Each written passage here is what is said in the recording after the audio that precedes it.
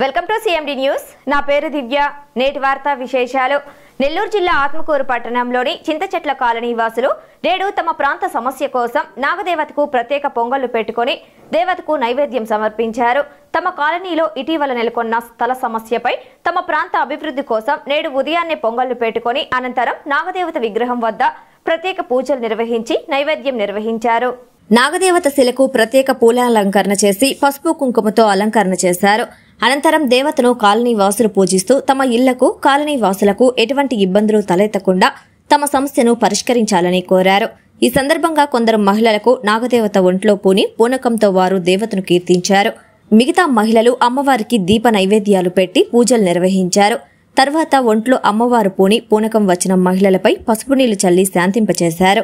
ఈ సందర్భంగా ఇక్కడ ఉండేవారు మాట్లాడుతూ తాము మూడు తరాలుగా ఇక్కడ నివసిస్తున్నామని ప్రస్తుతం తమ ప్రాంతాన్ని ఖాళీ చేయమంటూ అధికారులు సూచించడంతో తమకు ఎంతో ఆవేదనగా ఉందని ఎన్నో ఏళ్ళుగా తాము నివసిస్తున్న తమ ప్రాంతంలో ఇక్కడ చిన్నపాటి ఇల్లు నిర్మించుకొని పూట కూలీలుగా పనులు చేసుకుంటూ జీవనం సాగిస్తున్న తమకు న్యాయం చేయాలని అందుకోసం నాగదేవతకు పొంగలు పెట్టుకున్నామని తెలిపారు.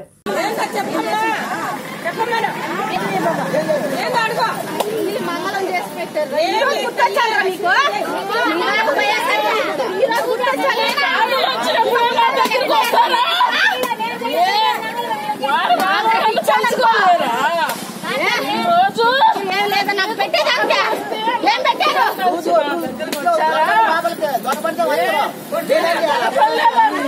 ఈ రోజు గుర్తొచ్చాను మీకు నేనా? మీ దాకా వచ్చేసరికి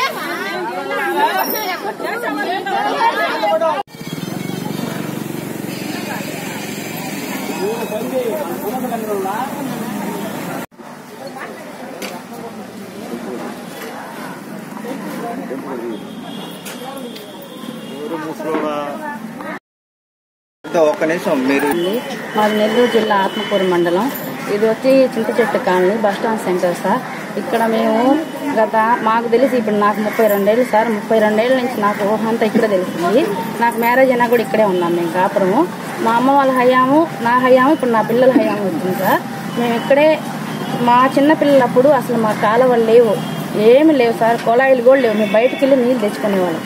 అప్పుడు మరి మురి గుంటలో నీళ్ళు ఎత్తిపోసుకుని వాళ్ళం సార్. అప్పుడు ఎవ్వరు ఇది మీది ఇది మాది అని ఎవరు రాలేదు సార్. మేము అప్పుడు గుడిసెలు వేసుకొని ఉన్నాం. ఆ గుడిసెలు ఏంటంటే ఎండాకాలం వస్తే కాలిపోయాయి చాలా మంది కూడా ఇక్కడ. తర్వాత కూల్ చేసుకొని అప్పు సప్పు చేసుకొని రేకులు కొట్టాలు వేసుకున్నారు. అప్పుడు ఎవరు రాలేదు ఇది మాది అని.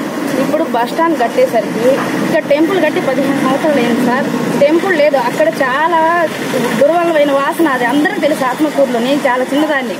అప్పుడు అందరూ ఇలా పెట్టుకోపోయేవాళ్ళు తర్వాత రాఘవ సార్కి ఏమనిపించింది? ఏమో అక్కడ టెంపుల్ కట్టాలని కట్టాడు. ఇప్పుడు అందరు దండం పెట్టుకున్న దానివల్ల జేఆర్పేట డెం బాగా డెవలప్మెంట్ అయింది. ఇది నాగారపమ్మ మేము మట్టిలో నుంచి కింద నేల నుంచి నింది అమ్మవారు. ఆ రోజుల్లో నుంచి అట్టే అందరు దండం పెట్టుకుంటానే పోతున్నాం. తర్వాత తర్వాత చిన్నగా అరుగు కట్టించుకున్నాం. దానికి ఏం రేకులు వేసుకోలేదు ఏం వేసుకోలేదు సార్ మేము. అప్పు సప్పు తెచ్చుకొని ఇల్లులు కట్టుకున్నాం. వాటికి కూలి చేసుకుని వడ్డీలు కట్టుకుంటున్నాం. ఈడ ప్రతి ఒక్కరు కూలీనాలు చేసుకుని తినేవాళ్ళు తప్పక కోట్లకు ఉండేవాళ్ళు అంటూ ఎవరూ లేరు. లేదు వాళ్ళు ఉన్నారు అంటున్నారు కదా. మీరు అన్ని ఆధార్ కార్డులు తీసుకోండి రేషన్ కార్డులు తీసుకొని మొత్తం ఆన్లైన్ తీసుకొని కలెక్టర్ గారు అంటున్నారు. అందరూ చూసుకోండి. ఉంటే ఖచ్చితంగా తీసుకోండి. లేదు మంత్రి గారు రండి. వచ్చి బజార్ మొత్తం పరిశీలించండి. ఇక్కడ బడా బడా బాబులు ఉన్నారంట. బడా బాబులను కాపాడడానికి మమ్మల్ని అడ్డం పెట్టుకుంటున్నారు. మేమెంత సార్? మీ కాడ? మేము చీమలు అంటారు మీరు ఏనుగులు. మేము చీమలం సార్ చీమల మీద మీ ప్రతాపాలు చూపించేదే. ఈ ప్రభుత్వం గెలవాలని మేము ఎంత సపోర్ట్ చేసామో మాకు తెలుసు. స- పక్కన ఉన్న నాయకులకు కూడా తెలుసు.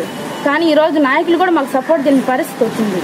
మేము అందుకని మా మొర ఆలకించాలని అమ్మవారిని ఈరోజు పెట్టుకున్నాం.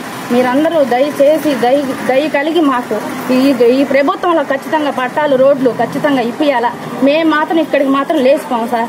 పోతే మేము మా పిల్లల శవాలే లేచిపోవాల్సింది తప్పితే ఏం పోయే ప్రసక్తి లేదు. ఎంత ఎంతమంది వచ్చినా ఇక్కడ చచ్చిపోతాం మేము. రండి మా శవాలు తీసుకొని మా శవాల మీద మీరు తీసుకెళ్ళండి.